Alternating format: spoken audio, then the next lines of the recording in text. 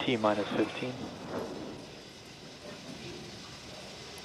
T minus 10, 9, 8, 7, 6, 5, 4, 3, 2, 1.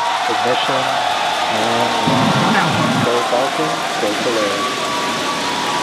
Copy, 1 Alpha. Vehicle is pitching downrange. Stage 1 propulsion is nominal.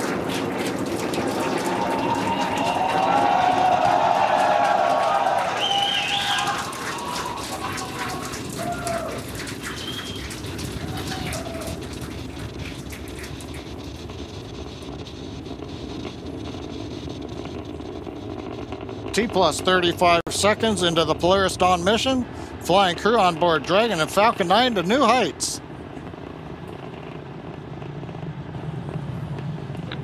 Power and telemetry nominal. And we're throttling down in preparation throttle down. for max Q. Next call out, the vehicle supersonic. And there on the left side, we got the Falcon Polaris 9 Dawn crew. supersonic.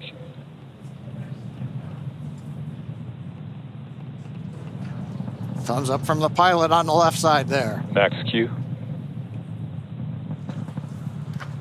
We're throttled one back throttle up up. to power, One Bravo. and we heard the call out one Bravo. Copy, 1 Bravo. That just tells the crew what would happen uh, should they need to initiate anything. But right now, everybody making nominal callouts on Falcon 9.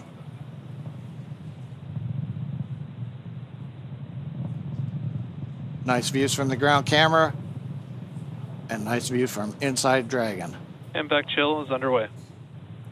The announcement lets us know we've begun the final chill of the second stage engine in preparation for its activity coming up at about T plus 2 minutes and 40 seconds.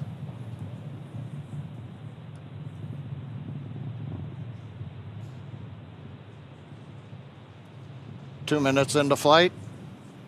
Everything continues to look good. We'll have in half a minute three major activities shutdown of the nine Merlin 1D engines, stage Stage separation, throttle down. and then ignition of the second stage engine. Throttle down, we're holding a constant acceleration now for the crew just below 4 Gs. See, we're coming up 70 kilometers.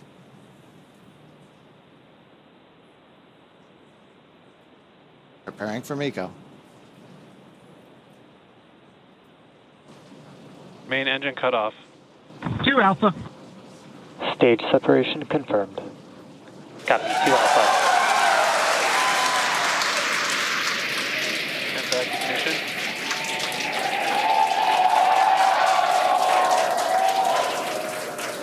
As you can tell by the cheers behind us and the views on your screen, the first stage booster now on its way to attempt landing on just read the instructions. Second stage there on the right hand side of your screen. You can see that the first stage has not yet reached its apogee. You can see the altitude there. Lots of thumbs up there excuse me, from pilot Scott Kidd Poteet. Now, three and a half minutes into the Polaris Dawn mission. First stage continuing to make its way up, up, up to its apogee. We'll see that altitude begin to slow down. Dragon SpaceX trajectory nominal. Great news there, indicating Dragon copy. that the second stage trajectory is looking good. Now, the grid fins have deployed on the first stage. If we get first stage views, we might be able to see the Florida coast in the background. Oh, they're right there. Yeah, we sure can. Once again, the, our drone ship is attempting to land on, um, excuse me, our booster is attempting to land on our drone ship. Just read the instructions.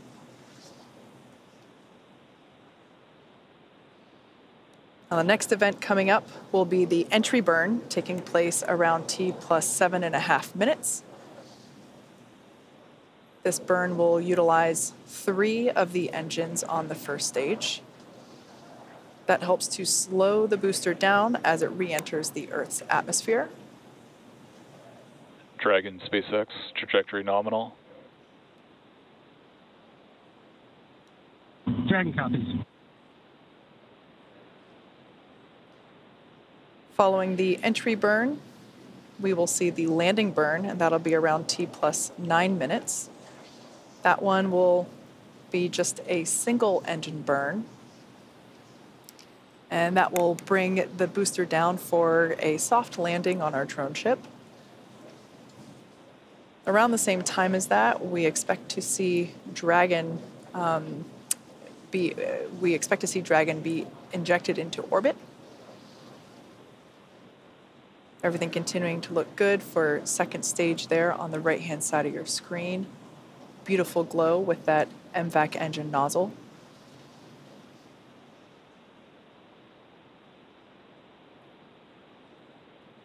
We can see the crew settling Dragon quite SpaceX, trajectory nominal. Dragon copies. crew seems pretty comfortable there at T plus six minutes. They're at about four Gs. And everything looks good. First stage continuing its descent back down to planet Earth.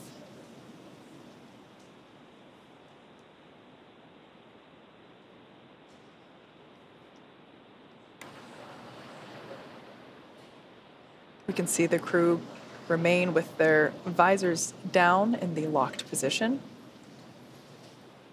That'll remain that way until they are in orbit. Everything continuing to look great with the second stage uh, engine burn there, as well as the Dragon SpaceX, trajectory nominal. Dragon copies. We're about 30 seconds away from the first stage entry burn. This is the first of two burns that the first stage will perform.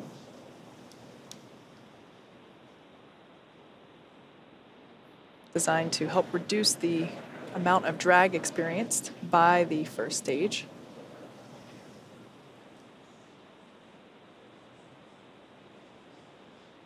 Stage 2 FTSS saved.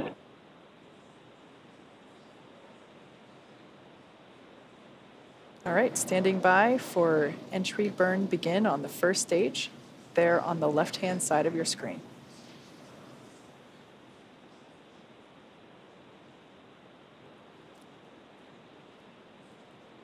And right on time, you can see on your left hand screen that the entry burn has begun.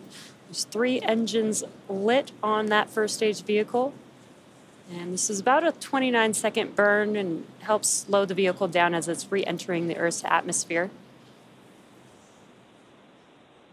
There you can see that the engines have now shut down on that first stage. That concludes the entry burn.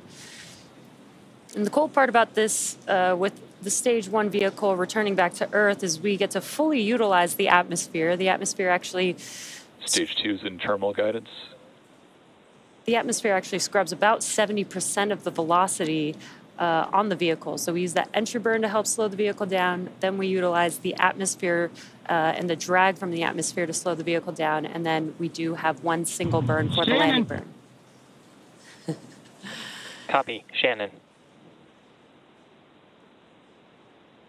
And next up will be SECO 1, and that is second stage engine cutoff 1, and that'll be on the second stage. That MVAC engine on your right hand screen will shut down and allow the vehicle with Dragon attached to coast. MVAC shut down. And there's that shutdown. And the landing burn on the first stage should be starting up here momentarily. And there it is. Landing burn has begun for. Dragon SpaceX, nominal orbit insertion. Dragon SpaceX launch escape system disarmed.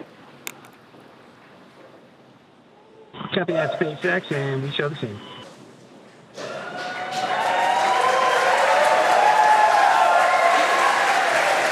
And a lot of events happening right there, but you can see that the stage one vehicle has touched down. Um, just read the instructions. A very excited crowd there here in Hawthorne. We've also confirmed MVAC engine shutdown and orbital insertion of the second stage with the crew on board. Yeah, honestly, a pretty impressive crowd uh, for 2:30 in the morning here. we can see the crew enjoying their first taste of microgravity there on the left-hand side of your screen. Now that the MVAC engine has shut down, uh, they are able to uh, just kind of float free. we might catch a glimpse of the zero G indicator. I'm not, can't quite tell if they've. Oh, it looks like it's in the uh, upper right hand corner. It'll uh, come back into view here. Once again, they will keep their visors on until given the okay by uh, core here on the ground.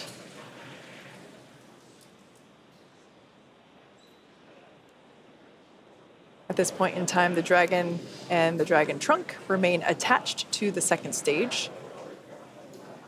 Second stage is basically safing itself um, in preparation for uh, the separation from the Dragon trunk.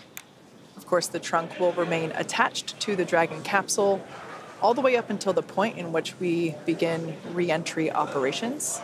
The trunk is what will help provide power to the Dragon capsule while it is on orbit using its solar arrays.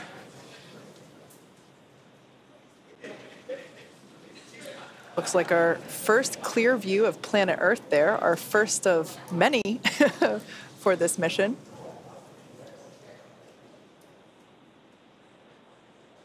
And the next event coming up will be um, the separation of the dragon from the second stage.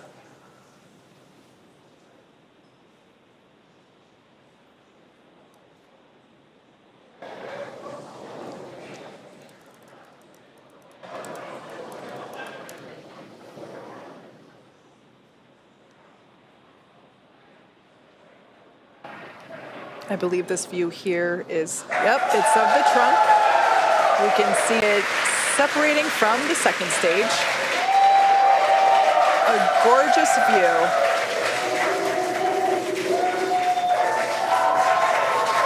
We can see that Polaris Dragon Dawn. separation confirmed.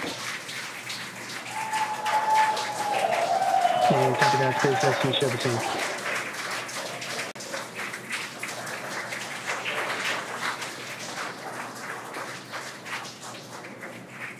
Polaris Dawn flying free into the sunrise.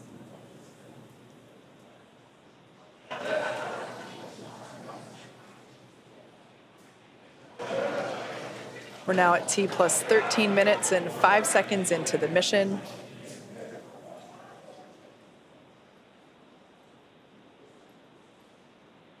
Next major event will be nose cone deploy. Dragon, SpaceX. Today you embark on a journey not just for yourselves, but for all humanity. Each of you has trained tirelessly and prepared rigorously for this moment, the moment where we reach higher into space than ever before. As you gaze towards the North Star, remember that your courage lights the path for future explorers. We trust in your skills, your bravery, and your teamwork to carry out the mission that lies ahead. Know that the entire team back here is with you every step, watching, supporting, and cheering you on as you walk into space. We are sending you hugs from the ground. Godspeed, Polaris Dawn crew. May you make history and come home safely. Now words from our CE. Dragon, CE, welcome to orbit. The Falcon team is honored to have helped you start your incredible journey. We hope you enjoyed the ride. The whole SpaceX family is looking up to you. Godspeed and good luck.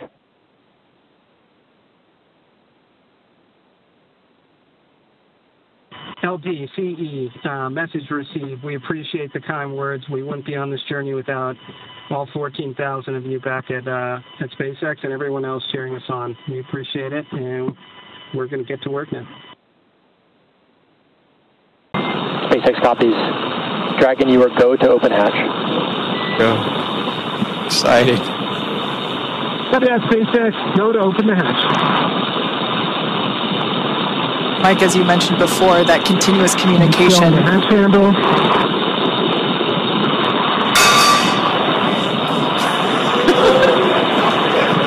As you can hear, we do have a crowd gathering outside of Mission Control uh, here in Hawthorne. In their excitement, somebody dropped a cup. we can see our commander, Jared Isaacman, now turning the crank, which allows the uh, that top hatch to open. We'll see him give it uh, a, a, pretty heavy. Uh, EV1 hatch is visually indicating open. SpaceX copies. Stand by.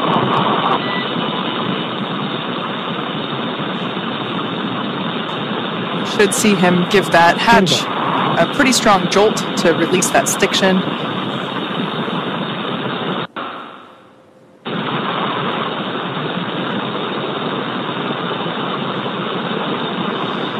Hatch is now unlatched.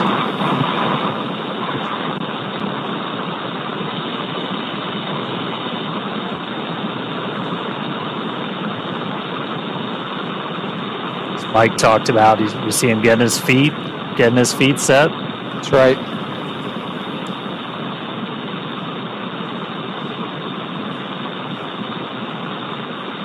Dan, you'd asked if I'd gotten open the hatch. So when you go out as EV1, just like Jared here is EV1, that's that's typically the role for for you is to open that hatch. And you guys so, have to draw straws, fight over who gets.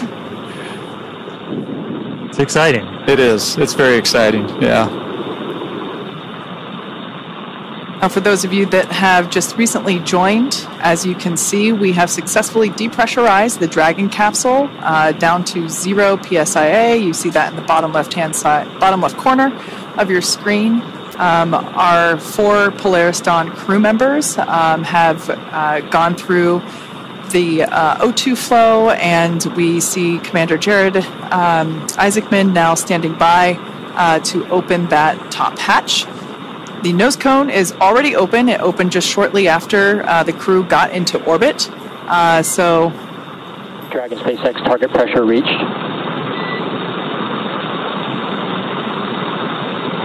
Copy that, SpaceX. I'm unseating the hatch now. Jared now opening Dragon Resilience into space. So we saw some motion on the hatch. Again, he's just giving it kind of that initial tug. And then Sarah gets to push the button to swing that hatch open.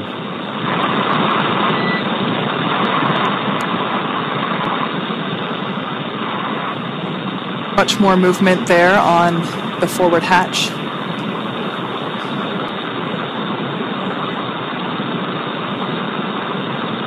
This must be pretty exciting for Jared because that center part of Dragon SpaceX, that's a good brace. We're going to have you repeat the operation.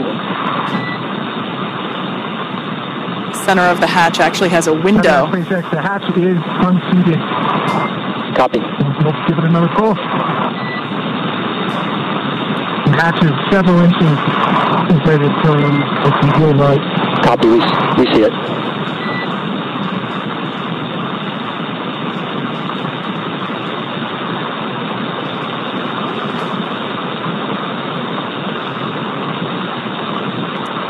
Looking out that tiny window there in the forward hatch, knowing he is going to have a much bigger window in just minutes.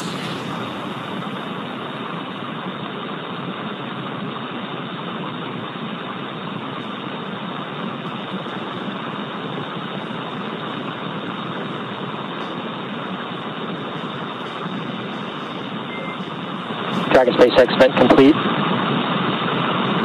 EV1 return to seat.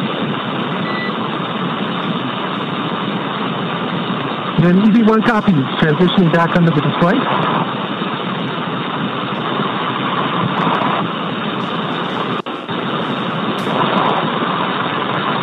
So again, one of the reasons we had Jared do that was to... Dragon SpaceX, we're actually watching that hatch. We're going to have you repeat the last operation.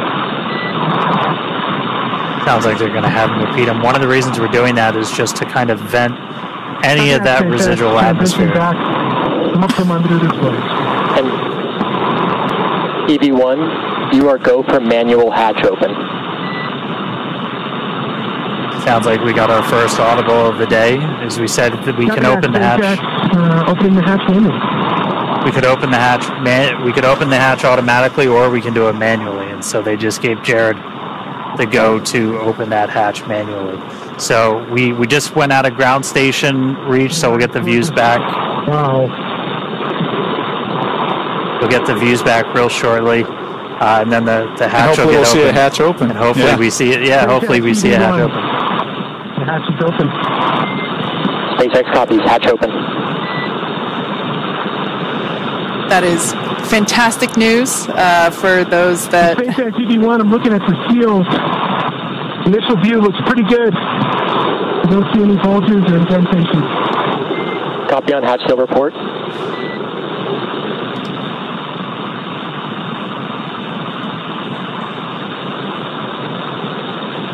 Yeah, that seal that you just heard him talking about, it's such a important part for the end of the EVA, right? So that when they close that hatch again, you get a good Open.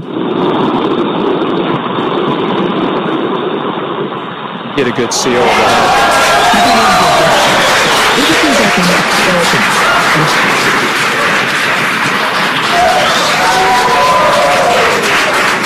EV2 SpaceX, can you command open forward hatch? This is going to stall it open. There is our first view of the forward hatch, wide open to space. forward hatch.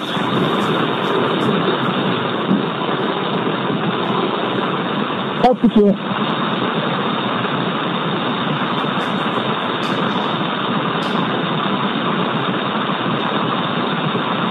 If you just jumped in, we are 38 minutes into today's spacewalk, and the hatch is open on Dragon. First view from a helmet cam, looking out.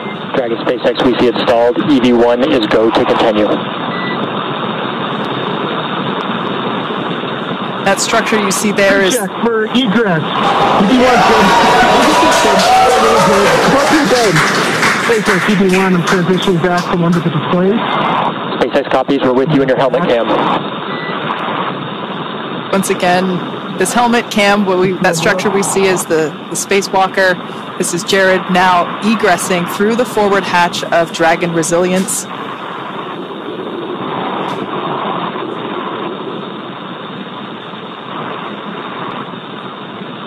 These are the first views of the first ever commercial spacewalk.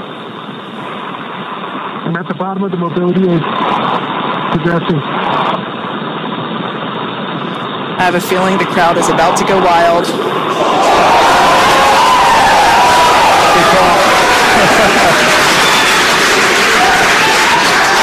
Approaching the top of the mobility aid.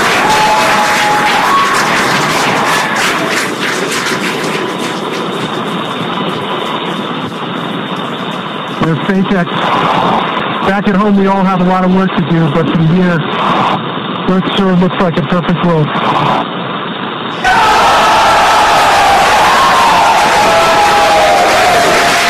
Now, SpaceX, EV1, I'm going to step into Test Matrix 1. Single-handed mobility demonstration. Commander Jared Isaacman now emerging Copy, we're with you from. in Uh, SpaceX. Attitude reset complete. EV2, go for egress. There's Sarah's clear to proceed. Crew check for EV2 egress. EV1's good. EV2's good. All good. What two good?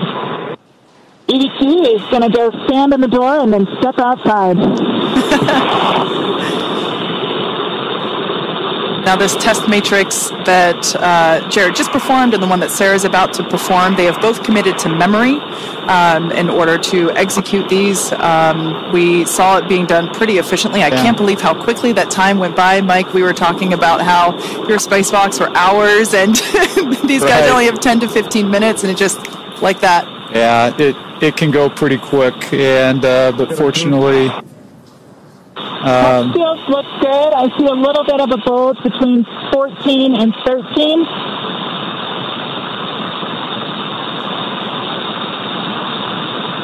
so you're hearing Sarah call out some more of the seal check there as as she's exiting out. seated. SpaceX copies that report. Good fix. So this was something we knew might happen. Um, and It is Sarah, between 28 and 27. Copy. the crew trained on exactly what to do in this scenario. Just pop it back in. And Reseat one it. final between 19 and 18.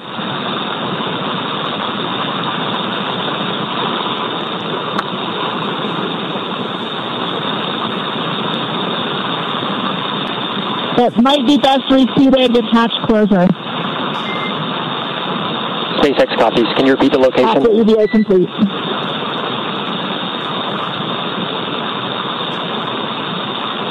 Between 19 and 18. All right, copy. I'll track that and uh, ask again when you're ingress. Copy. EV2 is proceeding with egress. Super exciting to see this. Our fellow SpaceXer, Yeah. Sarah Gillis, now about to make her spacewalk. EV1, I'm going to hand this back to you.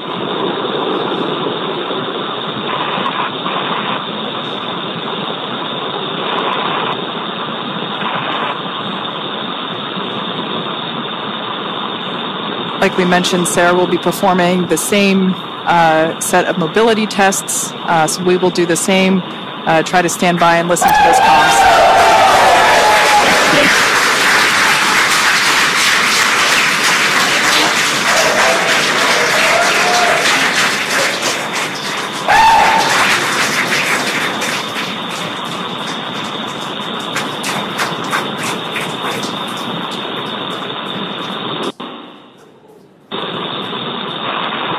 I mean, I said it before. A lot of us work here because we want to do this. All right, stepping into test matrix one for single-handed mobility.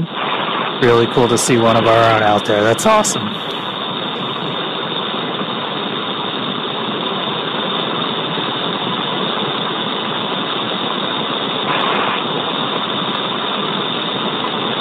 And EV2 for awareness. We're watching from the nose cone.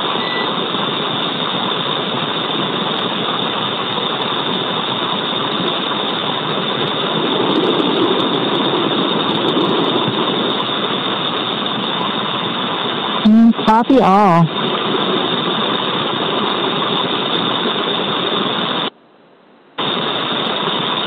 I would say in all three translation axes, I'm having certainly cross-coupled movements.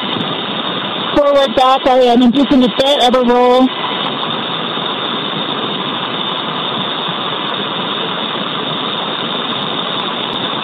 Similarly it's left, right, and up, down, a bit of a pitch, but all are achievable rating of three.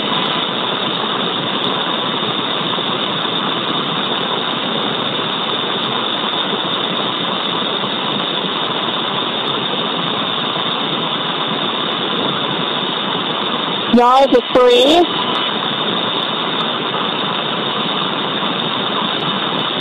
Roll is a four. And pitch is a three.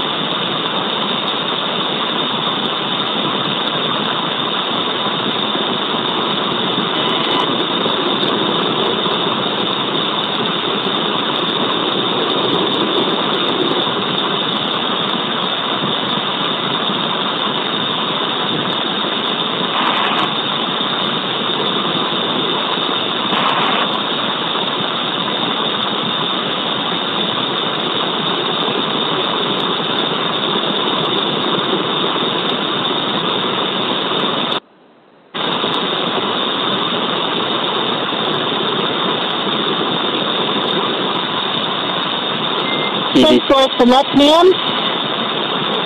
Stepping into vertical translation. SpaceX copies. And EV2 for awareness. We're tracking an ingress time at O2 flow, 5-9 minutes. Copy five nine minutes.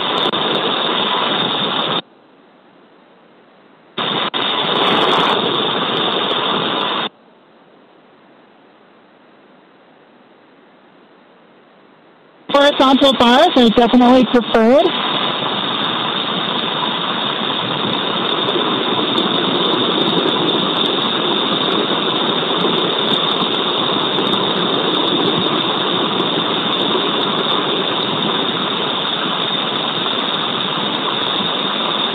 And I'm adequately able to stabilize my body with single hand disturbances.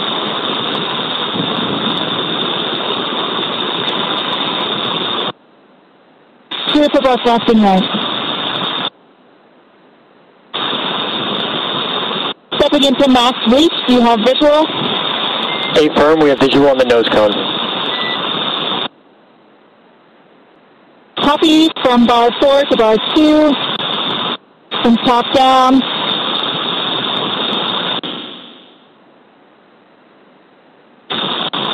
And similar reach from bar two up to bar four. SpaceX copies reach. And EPA test matrix one complete. Sea pressure 5.25, 33.8 Celsius, 37% humidity. SpaceX copies HUD readout and test matrix 1 complete.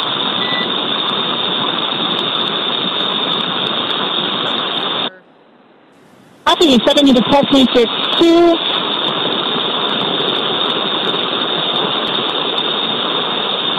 Like we mentioned before, views going in and out doing during excuse me, due to those ground station uh, coverage gaps. Yeah, we we comms are some of the same.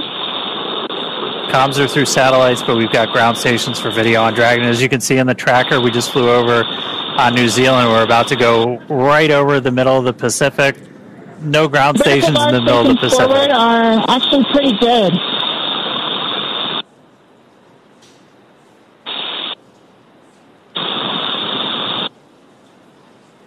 We're hearing the voice of mission specialist Sarah Gillis, our fellow SpaceXer on her spacewalk.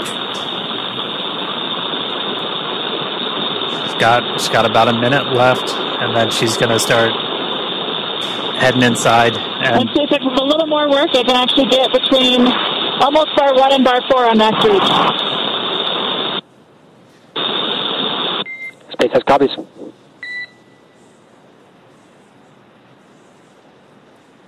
And you could see the Earth dark, and we flew into like an All orbital. right, and test matrix two, time to combine them, so we'll call that complete. Sea pressure 5.27, 38% humidity, 33.7 Celsius. SpaceX copies matrix complete and HUD readout.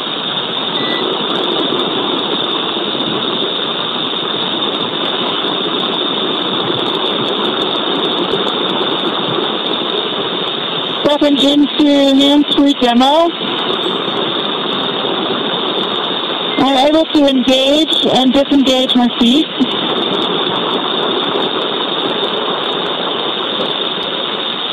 Copy that, EV2. And once you are able to engage, disengage, we'll actually have you start ingress. We're just over 5 9 minutes O2 flow.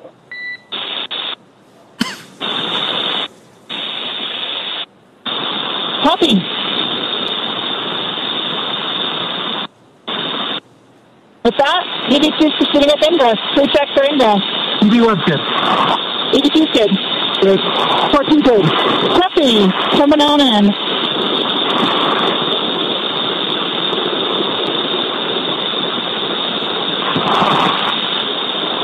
All right, and just like that, Sarah's going to start making her way checker in. plates are clear. Check those hatch seals again. SpaceX copies on striker plates. And EV2, I have one more ask for the hatch if you can uh, check that out as well when ready to copy.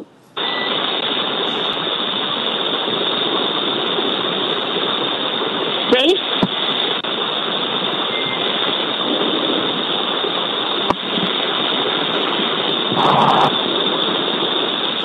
Right, Ready, E- copy. Copy. And EV2, what I'll have you do is when you ingress, can you get eyes on the hatch handle mechanism and see if the handle has been stowed in the do not stow uh, window and report if you can see that?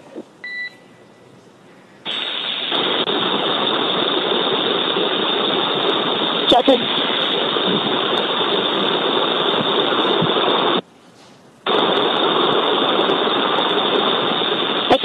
outside?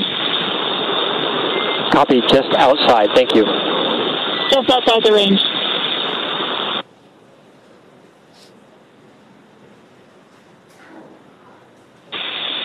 Six, deorbit burn complete. Performance nominal. Nose cone closure initiated. We show the same and tracking. Confirmation there that we had a successful and nominal deorbit burn. So we're now going to see the nose cone begin its closing uh, process.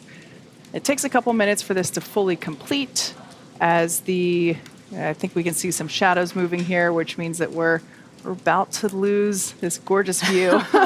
This is an incredible view. And uh, as we mentioned earlier, the vehicle is doing a slew, so it is maneuvering um, to orient that heat shield a little bit more towards the Earth. Uh, and that helps prepare us for Yeah. reentry. And we can see that nose cone coming into view now there in the top left corner. Once it is all the way down, um, there will be some hooks that lock in to make sure that it is locked up, as Jesse had said earlier. Once again, we will not be using the forward bulkhead Draco thrusters anymore.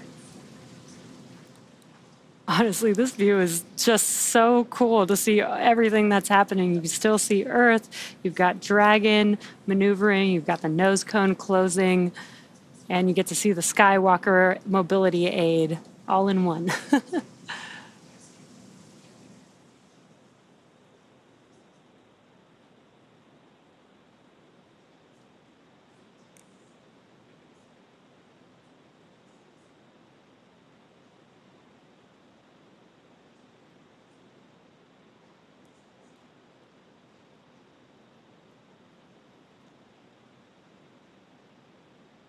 can see that nose cone coming down to its final position ever so slowly and ever so sadly. Slow and steady. Uh, And again, we close the nose cone in preparation for re-entry of the vehicle. This helps keep the nose cone safe, intact with the vehicle. Um, again, we are going to close this and lock this, uh, and this protects the top part of the vehicle as it re-enters the Earth's atmosphere. Now, we don't necessarily need it for Dragon, but we do want to protect that Skywalker uh, during re-entry, which we don't typically have or haven't had before on Dragon missions. Um, so this nose cone will actually keep that Skywalker mobility aid pretty safe as well. Indeed. Now, while all this has been going on, the vehicle has initiated the nitrox suit purge. This helps to keep our crew members cool and comfortable during re entry, which, once again, we expect that to occur uh, here in a few minutes in about a half hour, or a little bit less than a half hour. The exterior of the vehicle will reach temperatures of about 3,500 degrees Fahrenheit.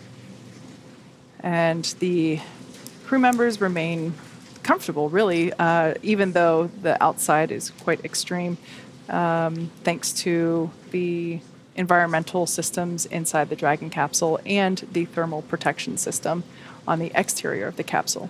Um, and we are uh, a little over halfway through that blackout period. We are expecting to hopefully gain comms back uh, in about a couple minutes from now again. Uh, and this, you can see on your screen, is the first ground view of the Dragon capsule making its way back, entering the Earth's atmosphere. I love this view. Uh, it's a it's it's so fun to watch this. I can only imagine what it would be like to watch it with our own eyes. Um, this thermal view, uh, in particular, is really cool because you can you can see the trail behind it. Oh, Now- that is so awesome. There's four humans inside of that capsule Yeah. right now. Now, once again, we are in the anticipated communications blackout period.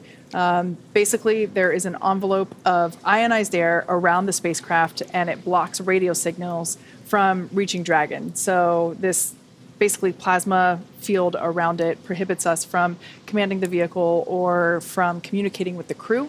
Uh, so, this anticipated blackout period lasts about seven minutes. So, Uh, we should be coming out of it here in about the next minute or so. We will probably start to hear uh, the SpaceX core begin to reach out to the Dragon capsule, uh, just trying to hail them, or we might even hear from uh, the Polaris Dawn crew first.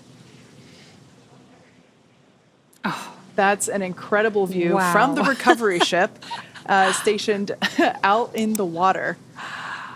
That is a sight to see for the people that are watching this live. Uh, Yeah. It's not a comet, it is just the Polaris Dawn crew coming back to Earth. Wow, that is an amazing view.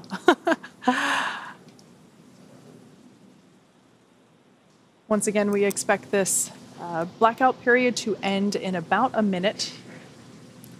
Another view of the Dragon SpaceX com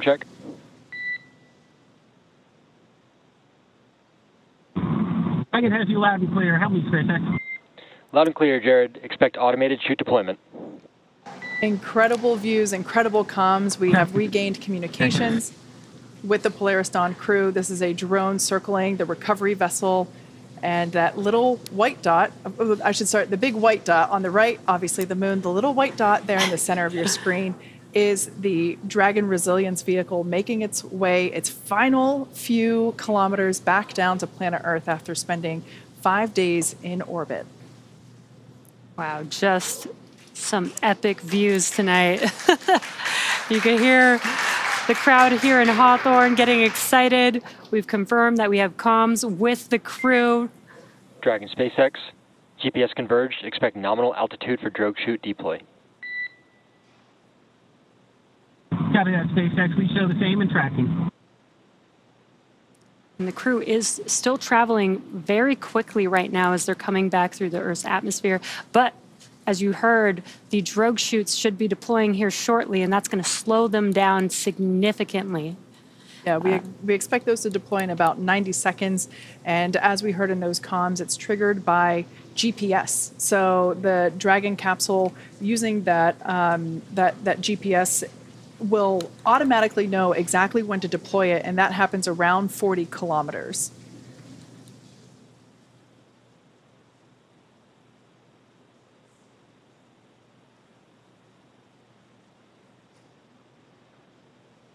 Once the drogue parachutes deploy, about a minute after that, we'll see the main parachutes.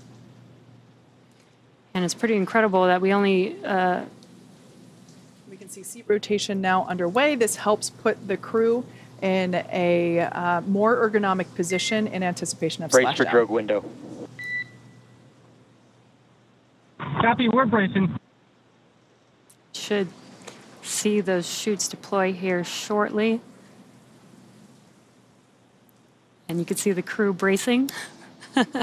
As instructed. For the change in velocity.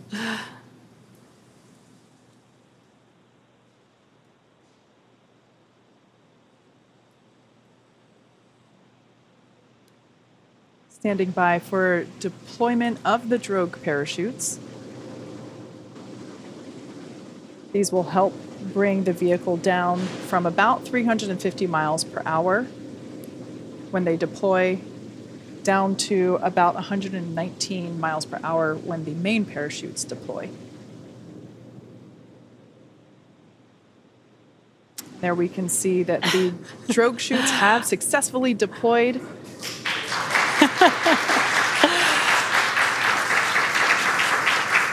It's a great thermal image. And that ah. view is from the actual basin where those drogue parachutes are located. Dragon SpaceX visual on two healthy drogues. Copy that, SpaceX. We show the same. These drogue parachutes help to stabilize the Dragon capsule and get it into the right orientation before those main parachutes uh, pop out, as well as providing that initial deceleration. This is such a great thermal shot of the the Dragon capsule. You can see it turning a little bit with the drogue parachutes. And there are the four main chutes now deployed. They'll slowly open up to their full uh, deployment here in just a few seconds.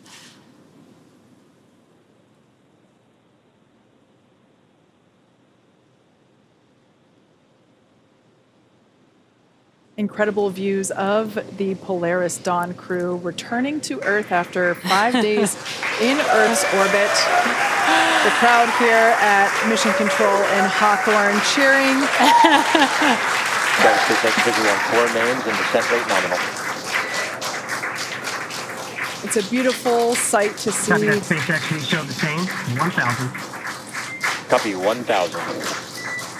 Beautiful sight to see those four healthy main parachutes.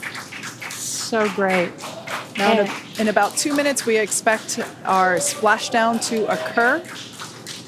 And you may hear the crew and the Corps talking. They're uh, communicating about their altitude as they make their way back down to Earth.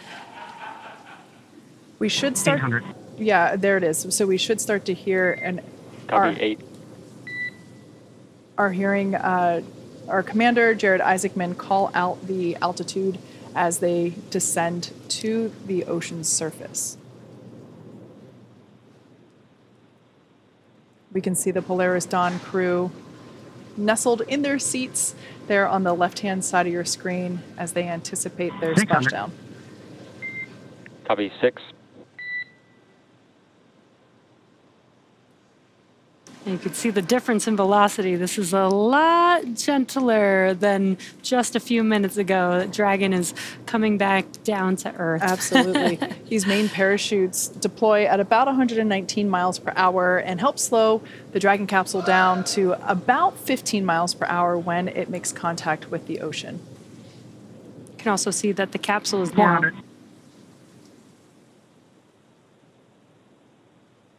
the capsule is now stabilized. It's no longer spinning like we saw it with the drogue parachutes.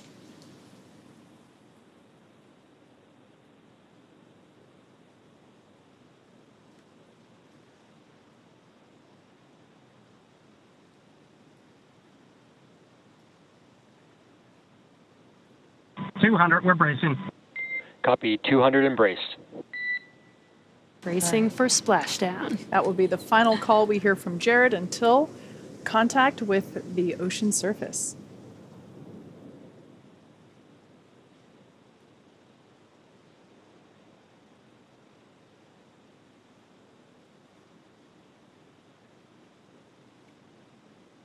Standing by for a splashdown of the Polaris Dawn crew.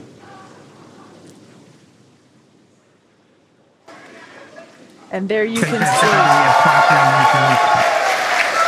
SpaceX copies VC splash. As you can see on your screen, and by the cheers behind us, the Polaris Dawn crew has successfully splashed down. Welcome back to planet Earth, Polaris Dawn. SpaceX recovery team now moving into place to begin the process of strapping the Dragon capsule up with the necessary uh, rigging in order to lift it onto the recovery vessel.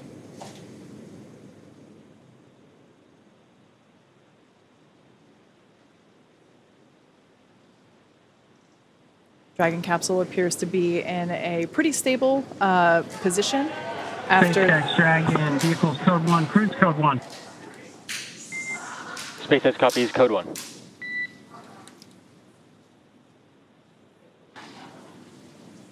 Now, the recovery teams have been ready and waiting about three nautical miles away. So it's going to take them just about 30 minutes to make their way to Jared, Kidd, Sarah, and Anna, who are currently inside of the Dragon capsule that you see there on your screen, back here, home on Earth.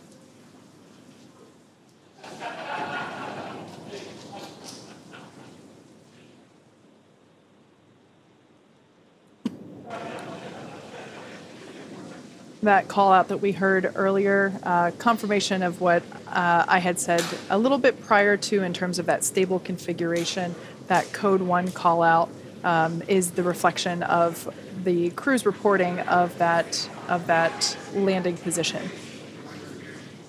We can see the Dragon capsule bobbing in the distance.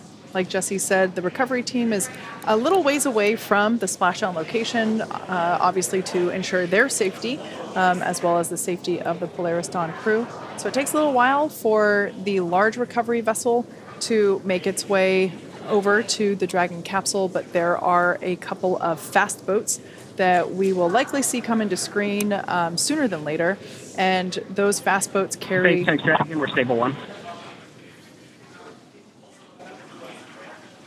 Those fast boats carry Copy, stable one.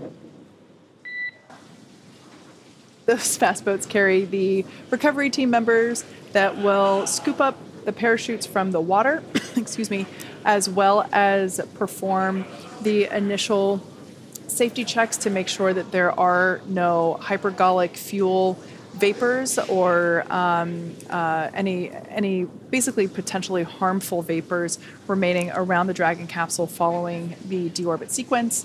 So we'll see a crew with some personal protective equipment uh, on around the uh, wearing that personal protective equipment around the capsule, performing those safety checks before allowing anyone to get uh, too close to the capsule.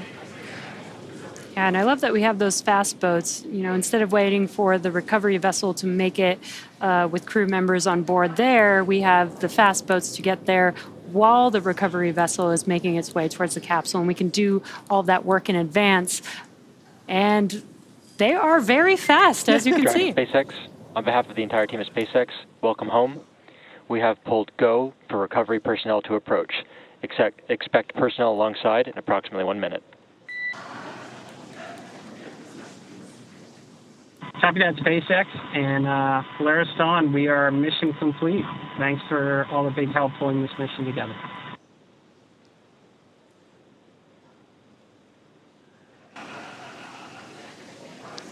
Now, we did see a jet ski pass by. That jet ski has a couple uh, recovery folks on board. They've got the go to do those, uh, you know, gas and hazardous checks to make sure that Dragon uh, is safe for the recovery vessel to approach. Yeah, and this view here is actually from a drone hovering near the Dragon capsule, so it gives you a little bit better perspective of how close the fast boats are. Like I mentioned before, some of them are uh, scouring the water looking for the parachutes that were released after Dragon splashed down. We'll try to retrieve those.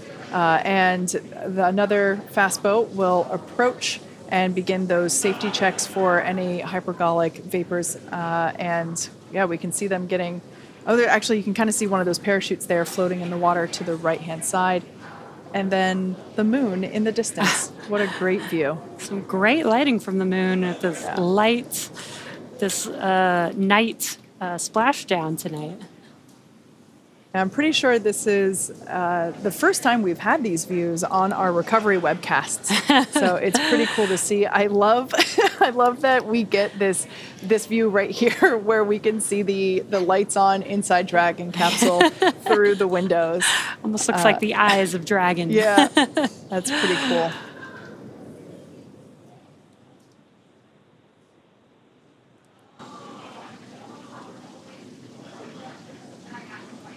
So the fast boat that is closest to the Dragon capsule, uh, that is the crew that will begin. Yeah, you can see with the stick there, that is basically a hypergolic um, uh, detection device.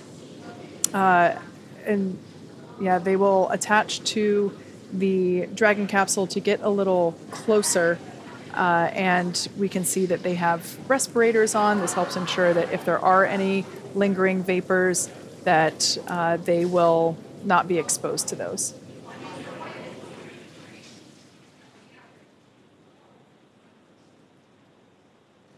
Now, the recovery team, just like the Polaris Dawn crew, uh, they perform quite a bit of training in order to be able to perform these activities safely.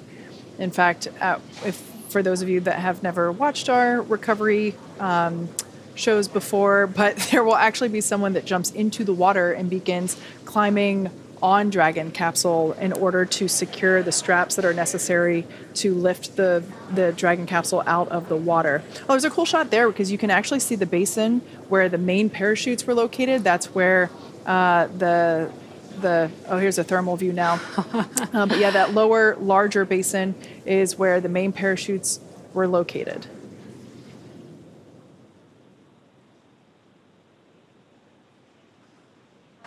A Dragon capsule definitely looks toasty, having come back through the Earth's atmosphere. A little bit toasty there. It was a little hot coming back. Yeah. And again, right now the recovery team is ensuring the safety of the crew, uh, making sure there's no hazardous gases around the vehicle. They're pulling the chutes out of the water. Which is what that thing is below the Dragon capsule there on the bottom right hand side of your screen. It is not a giant squid. I love how there are lights on these boats. Uh, maybe not there. Actually, I take that back. I don't think it's lights on the boats. I think it's lights with some of. Um, Dragon SpaceX, Hypergol sweeps, and unfired ordnance checks nominal, rigging in progress approximately two five minutes until capsule lift. Stand by for PMC. Copy that. Two five minutes for capsule lift, and glad all the checkouts are good. all right, great news there, um, letting us know, and we can see that the crew members have uh, basically taken off their respirators, allows them to work a little bit more efficiently. Uh, also heard that the crew will have their Dragon SpaceX for PMC. PMC standing for Private Medical Conference. So this is an opportunity to check in Go with. SpaceX. Uh, we'd like to try and do the PMC in 10 minutes, one zero minutes. Looking for crew to be okay with that wait.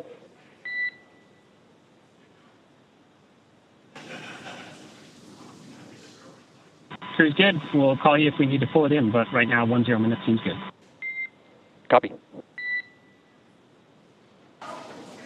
All right. So that PMC Private Medical Conference, that's just an opportunity for the crew to chat with the flight surgeon, check in, make sure everybody's feeling good. So it sounds like the crew is on board to have that occur in 10 minutes. Meanwhile, the recovery teams here on your screen scurrying. Oh, there, we, our first view of the individual on top of the capsule. uh, yeah, we. I have said this in many splashdown webcasts before. Not enough money in the world to convince me to do that job. I have so much admiration and respect for the people that can. Uh, just doing that in dark water would be terrifying to me. And I love how efficient and well trained all of these individuals are. They, you, I, we can see it a- in action here. They they function as a, a really strong unit altogether. Um, even in, I mean, these waters are pretty calm, but you can see the capsule and the boats kind of moving around, um, and it's it's not like they're on land. Yeah.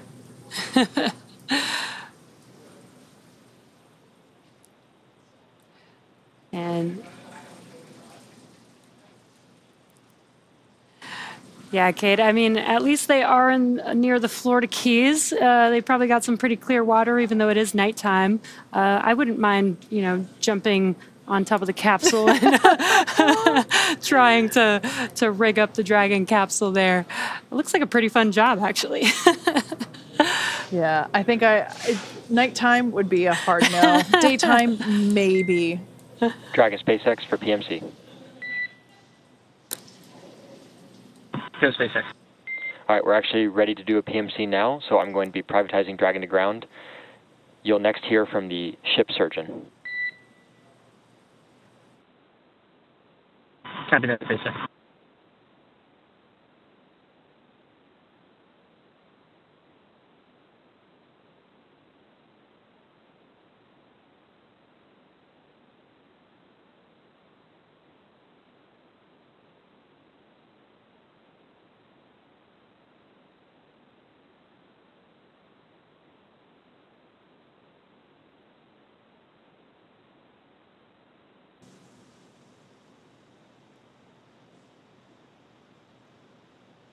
Again, just some great views here.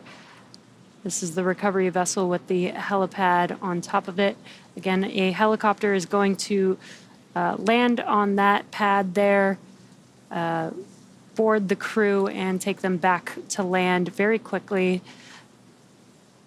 back to their families and friends that'll hopefully be there to, to greet them back to Earth. I love this drone shot that we have. Uh, first time we've had a view like this for our recovery operations. and it's Dragon SpaceX, com check. Dragon has you loud and clear. How many? Loud and clear. Forward link transition complete. Copy that, SpaceX. All right, we can see the recovery team continuing to pull the Dragon capsule a little bit closer. There's still one individual there in the bucket where the main parachutes uh, are stored during flight. You can also see at the top of, uh, basically at the top of what is the side hatch, there's another bucket, and that's where the drogue parachutes are located. Dragon SpaceX, rigging complete approximately five minutes until capsule lift. Copy that. Five minutes till capsule lift. And again, the core communicating to the crew as they can't see outside of the capsule. So there's a lot of movements going on. There's a lot of sounds that they're going to be hearing. And there you can see the hydraulic lift mechanism lowering into position uh, in preparation for lifting the Dragon capsule out of the water. We'll see the recovery team individual who's there um, placing those attachment straps uh, onto the straps that he's already or um, uh, uh, basically put around the circumference of the dragon capsule. that individual will climb up a little bit higher on the capsule and then jump off into the dark water. and uh, oh, here's a cool view uh, from uh, above the, the, that helicopter pad. Uh, that is where the helicopter will land and take the four crew members back to land.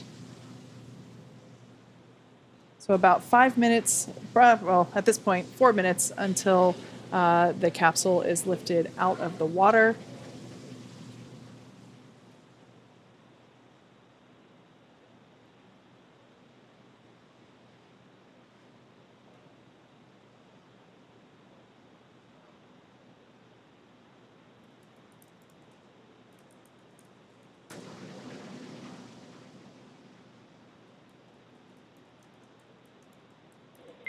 Dragon SpaceX, brace for capsule lift.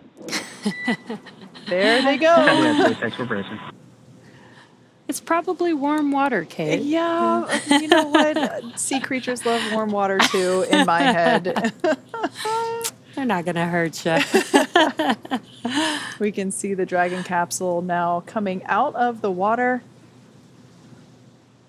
Our first view of that well loved heat shield at the bottom of the Dragon Resilience vehicle. Dragon now completely out of the water and will be lowered onto that cradle there.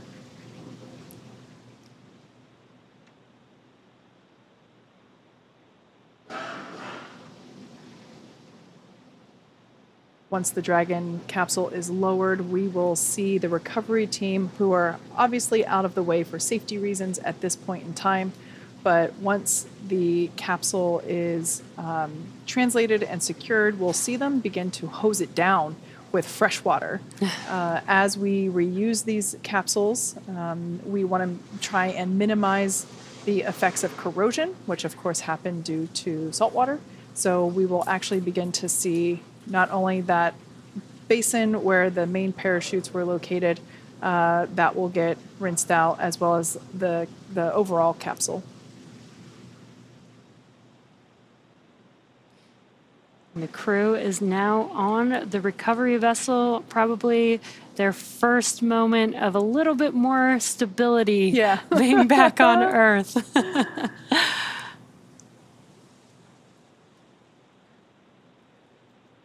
Again, what will happen next is once the Dragon capsule is fully seated in the nest, uh, and we'll remove all the rigging from the capsule that will then translate that capsule and move it forward to a platform. Dragon SpaceX, welcome aboard the recovery vessel. Recovery personnel are completing final checks.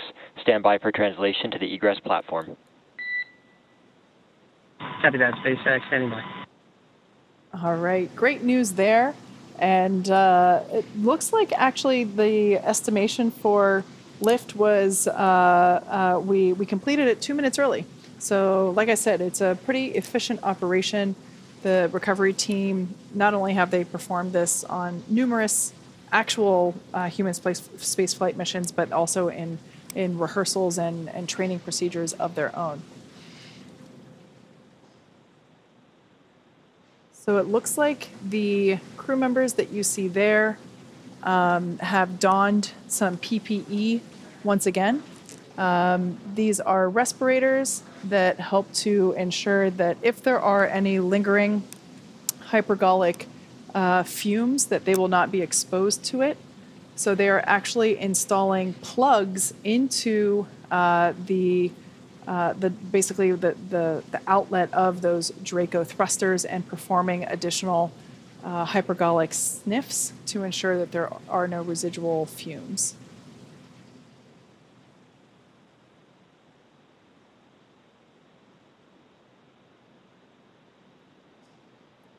Once they install all of the necessary Draco plugs, they will continue uh, with a final round of um, detection checks. Seems as though the first person to come out will be Anna Menon, who is on the far right side as we are looking at it. She is in seat four. Yeah. So Anna is now making her way with this assisted egress.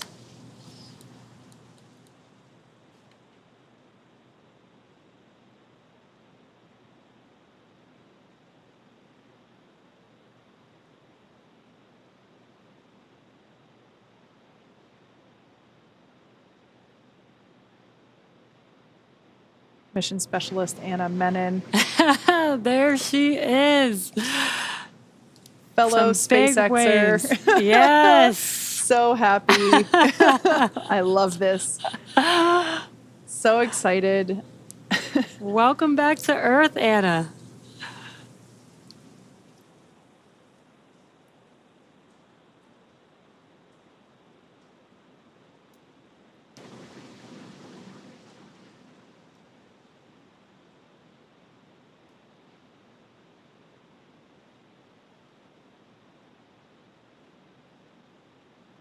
We heard um, Hayley Arceneaux, who was one of the mission specialists, and uh, and she uh, for the Inspiration Four mission. Uh, we heard her say that Jared um, always let the ladies go first, and so I have a feeling that Sarah might be the next one to egress here. Yep, we can see her uh, now getting out of her seat. she and Anna had the two window seats.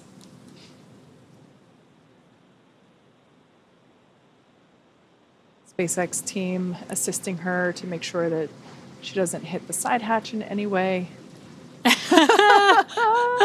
so much excitement. Our second SpaceXer to fly in space, mission specialist Sarah Gillis back on Earth.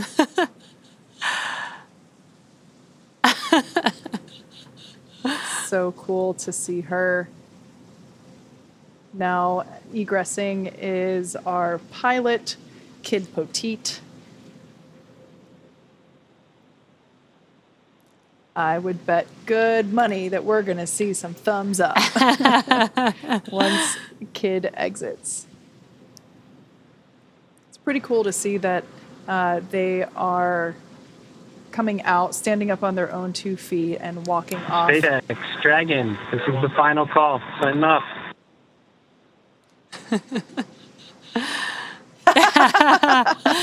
Some dance moves.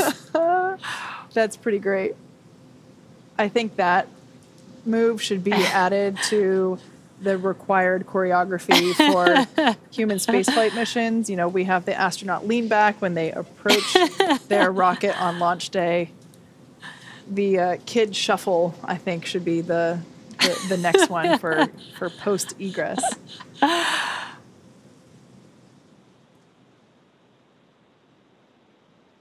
We heard Jared get one last call out on the loops before egressing himself.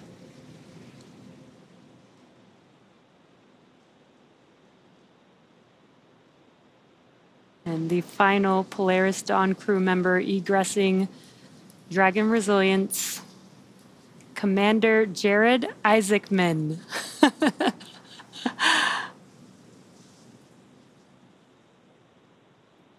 Our second frequent flyer in Dragon, completing his second mission in space.